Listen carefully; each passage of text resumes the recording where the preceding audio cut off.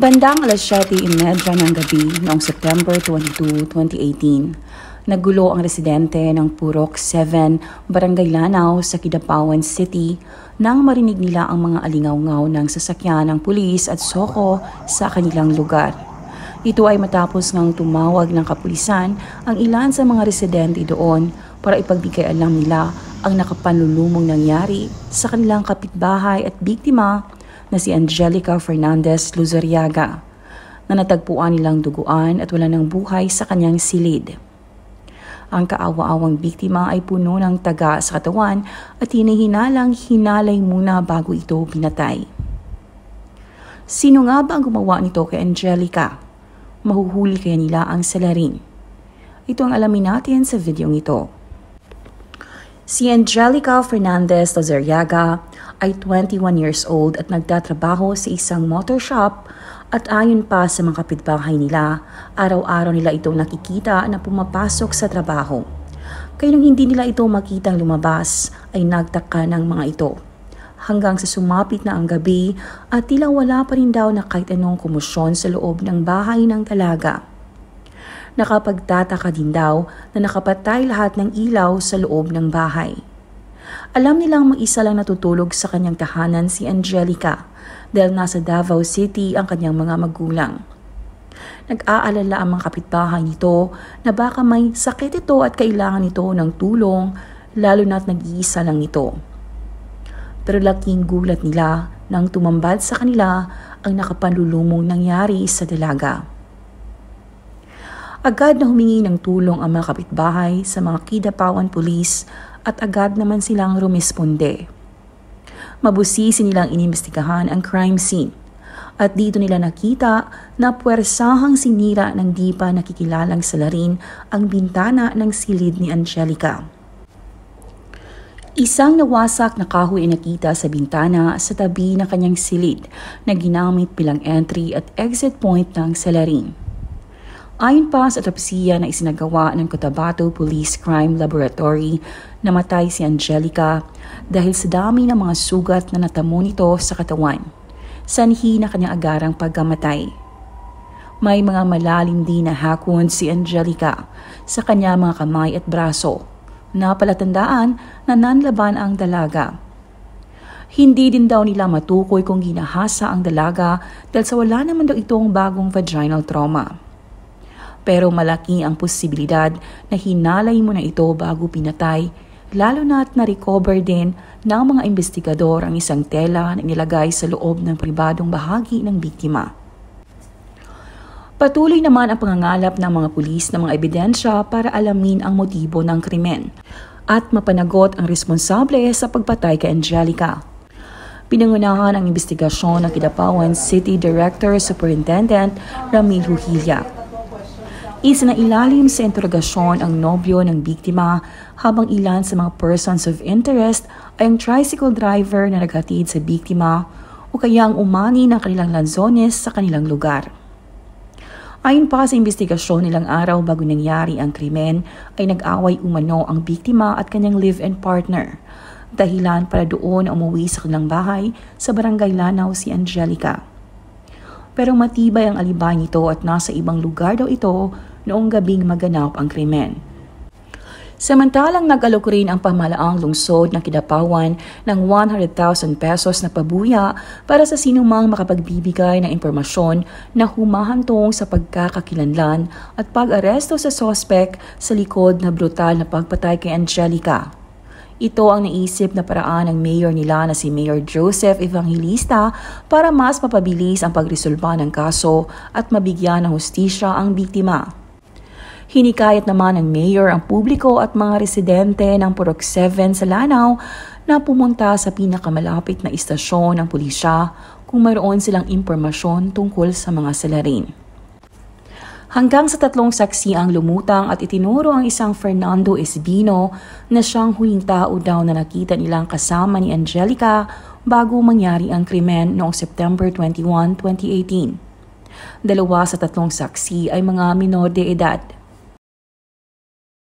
Ang mga minor de edad ay kinakatawan ng kanilang mga magulang na nakasuot ng bonnet upang protektahan ang kanilang pagkakakilanlan.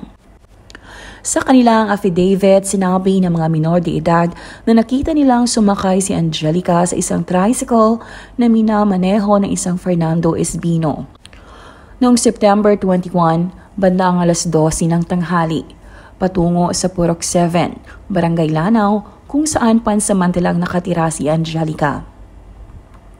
Ayon pa sa mga pulis, tugma ito sa kanilang investigasyon na bagaman natuklasan ang wala ng buhay na si Angelica noong gabi ng September 22, ay namatay ito bandang tanghali noong September 21, 2018. Ilang minuto matapos itong maihatid ng tricycle driver sa kanilang bahay sa Purok 7.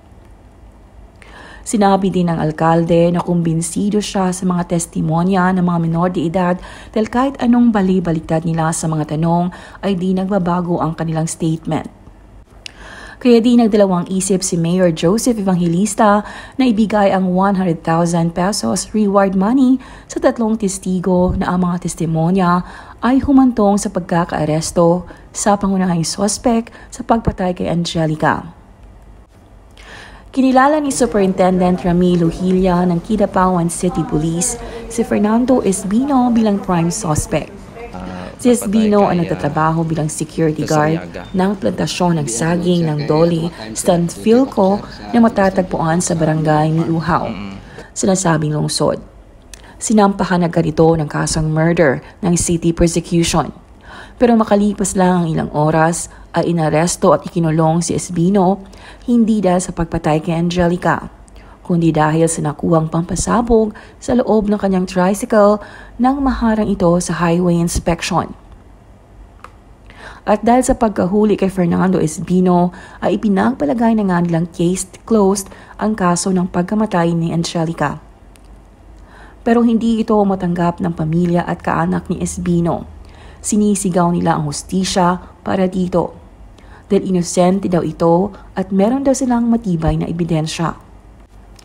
Isang kaanak ang inharap sa media ang photocopy ng logbook ng Dolly Sanfilco kung saan makikita ang sospek na nasa kanyang post mula alas 6 ng gabi, September 21 hanggang alas 6 ng umaga noong September 22.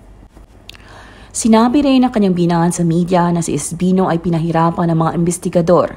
Sinabi niyang inosente si Espino at walang dahilan para patayin si Luzeriaga dahil malapit sa kanila ang dalaga at ang pamilya nito. Kwento pa ng binahan ni Espino, umiiyak daw ito na nagkwento sa kanya na kahit patayin pa siya ng mga pulis, wala siyang aaminin dahil di naman daw siya gumawa ng krimen. Desidido ang pamilya ni Espino na magsampa ng countercharge laban sa pulisya. Sinabi nila na ang mga pampasabog na nakuha mula sa tricycle ni Espino ay itinanim lamang upang maipit siya.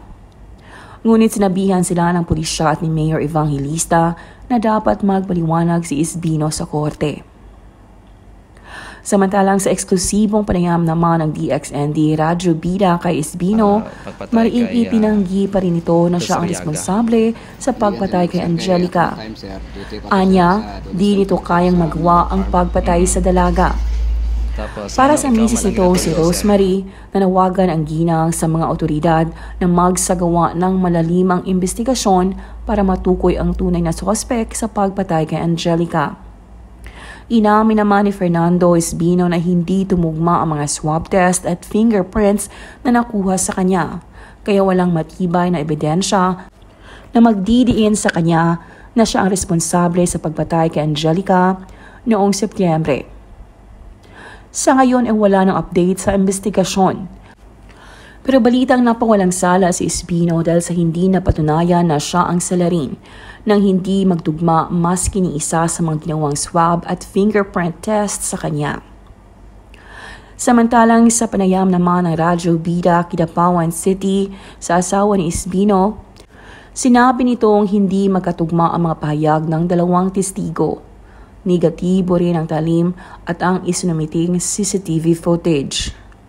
Isa din sa pinakamatibay na ebidensya na ipinakita ng panig ni Espino na nagpalaya sa kanya ay ang logbook na nagpapakita na siya ay naka-duty sa oras na nangyari ang krimen. Kaya naman kung totoo ito, tanong ng publiko, Sino ang mananagot sa kahihiyang dinanas ng mga isbino? Ano ang nangyari sa 100k na reward money na ibinigay sa mga lumutang na testigo? At higit sa lahat, kung totoo ito, malinaw na malaya pa pala hanggang sa ngayon ang tunay na salarin. Kaya panawagan ng lahat, sana mabigyan ng hustisya ang pagkamatay ni Angelica Fernandez Lozeriaga.